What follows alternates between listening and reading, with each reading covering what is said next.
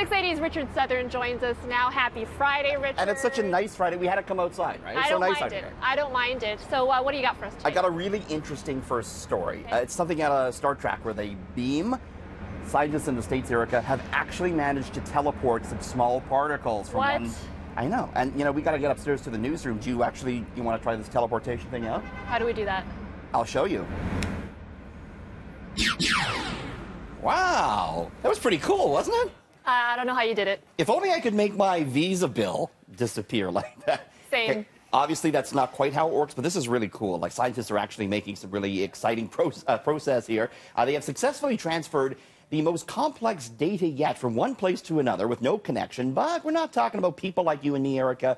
Uh, they did quantum particles. We're talking on the very, very small scale. But again, they did teleport them. The technique, they say, could be used uh, big time when it comes to the future quantum internet uh, that uh, scientists are planning. It could help uh, make data very much secure. Now, before we they go, you know, actually transporting uh, human beings, uh, the tests were only successful 75% of the time. So that means you and I might come up to the newsroom missing an arm or a leg, uh, Right, Erica. 75, sorry, 25% of our body. That's not good. All right, so we've heard how for years uh, millennials are killing industries, diamonds, casual dining chains, department stores, cable TV, even cereal. Yeah. But now there's something we're finally driving forward. Driving being the operative word here, Eric. It's the, the RV market, motorhomes.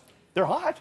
Uh, Canadian uh, market uh, on pace to sell some 50,000 motorhomes this year. 2.1 million Canadians now own an RV. And yes, it is the millennials driving them forward. You know why, right?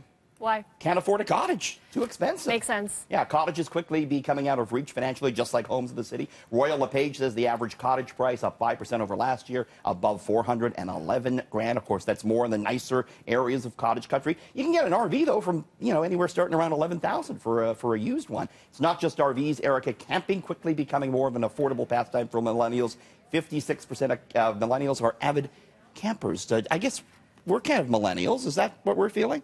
I, I would call myself an elder millennial, like Iliza Shlesinger, one of the older end of the millennial spectrum. But I have a really good friend who also wanted to do that, get an RV instead Yeah. of buying a home. So You go on va- I Europe, uh. Europe vacation, couple thousand dollars. These things are a little bit more out of reach than they used to be. All right, uh, busy weekend ahead. No time to shower. You got that no right. worries. A new product has you covered. Thank goodness uh, for me, Erica. yes, this is a new futuristic bodysuit with live bacteria embedded in it. They say it could help combat unpleasant smells that you may be emitting.